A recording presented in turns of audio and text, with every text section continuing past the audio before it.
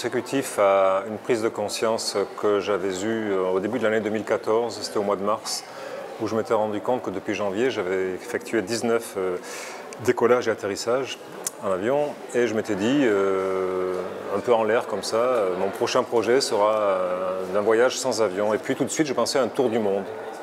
Pourquoi? Parce qu'un tour du monde, c'est une espèce d'idée en soi. Je n'ai pas pensé à Jules Verne en vérité, du tout. Euh, mais un tour du monde, euh, je me suis dit sans avion, un tour du monde écolo. Et c'est là qu'il y a un malentendu, c'est que ça sous-entendait que je partirais en porte-container, euh, parce que les paquebots de croisière, c'était pas trop mon, mon truc, disons. Et les porte-containers sont d'énormes pollueurs, ce que j'ignorais complètement. Mais je voulais partir à deux, et un jour j'en ai parlé à Tanguy chez lui, alors que je me trouvais dans sa région pour des rencontres littéraires, sans imaginer une seconde que ça l'intéresserait, parce que c'est pas trop non plus là qu'on l'attend, disons. Quoi.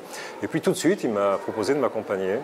Et j'ai dit volontiers. Et voilà comment c'est parti. On a eu le temps de. On est parti quand même 4 ans après, hein. c'était en 2014, donc en 2018, on a, effectué ce, voyage d'avril à juillet. Il y avait l'idée euh, euh, donc, donc, de rester au ras du sol et euh, de sentir la géographie, disons, hein, de mesurer la géographie. Le sentiment de la géographie, c'est quelque chose qu'on oublie un peu de temps en temps avec les moyens de transport extrêmement rapides, surtout en avion, où on, passe presque magiquement d'un lieu à l'autre, euh, huit heures après euh, avoir embarqué, on se retrouve dans un climat, un hémisphère à la limite complètement différent, et on, prend plein fouet la, la réalité absolument différente euh, de celle d'où on est parti, tandis que là, la lenteur relative, hein, parce qu'un porte-container ça va à 30 nœuds, donc je ne suis pas très bon en nœuds, mais 25 km/h par là, le transsibérien va à 70 à l'heure, donc c'est pas ni à pied ni en vélo, mais enfin, c'est pas très très rapide non plus.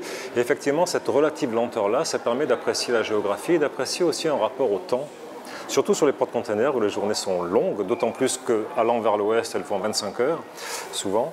On en a même eu une de 28 il y a une espèce de distorsion du temps qui s'opère, euh, l'absolue non-activité possible, non-sollicitation dont on est l'objet. Rien ni personne ne nous sollicite euh, lorsqu'on est en plein océan pendant 15 jours. Euh, on est rythmé par les repas. C'est très monastique en vérité. Hein. ça crée une espèce de distorsion du temps en effet et d'appréhension différente à la fois du temps et de l'espace. Et c'est relativement addictif. Autant pour l'un que pour l'autre, c'était notre surprise. On a été assez une fois qu'on a débarqué à New York, on n'avait qu'une hâte presque, euh, malgré le plaisir euh, anticipé de traverser le pays, euh, c'était de rembarquer de l'autre côté, du côté pacifique.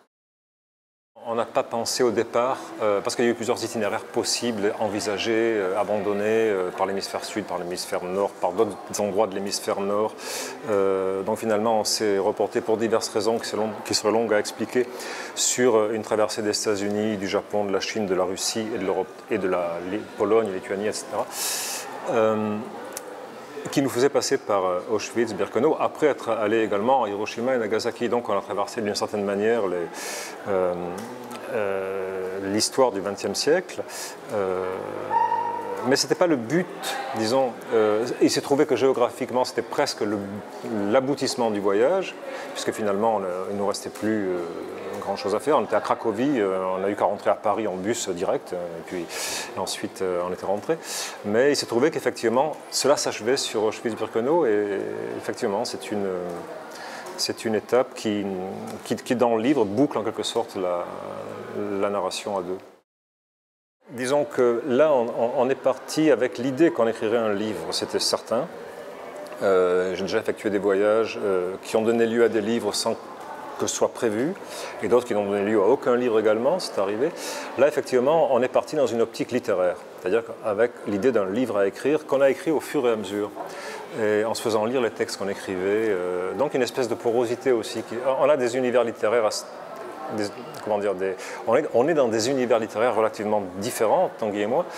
Euh, mais euh, j'ai remarqué, nous avons remarqué que bien que nos langues soient assez différentes, au bout du compte, lorsque certains essaient d'attribuer tel ou tel texte à l'un ou à l'autre, à peu près invariablement ils se trompent.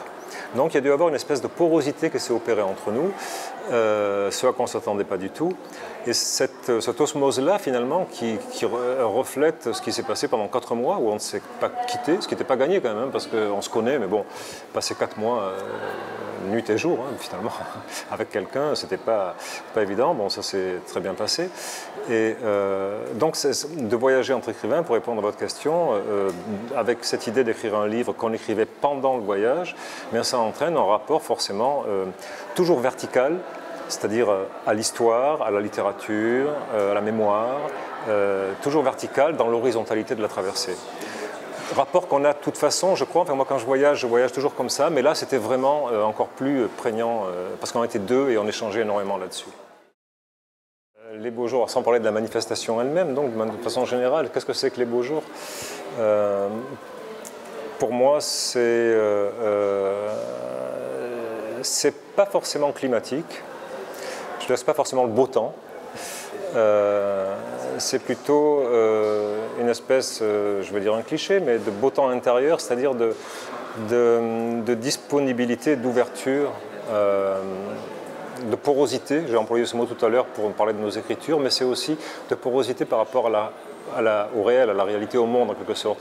Quand on voyage comme on l'a fait, l'idéal c'est d'avoir la sensation qu'on ne traverse pas des lieux, mais que ce sont les lieux qui nous traversent. Ça n'arrive pas tout le temps qu'on ait l'impression que la réalité nous traverse. On est plutôt souvent dans la vie quotidienne dans une, pas un affrontement, mais une espèce de on se heurte souvent à la réalité.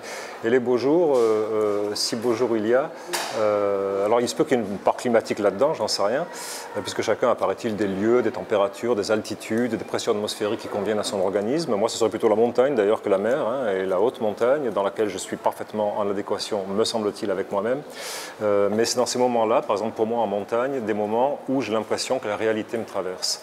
Et ça, c'est beau.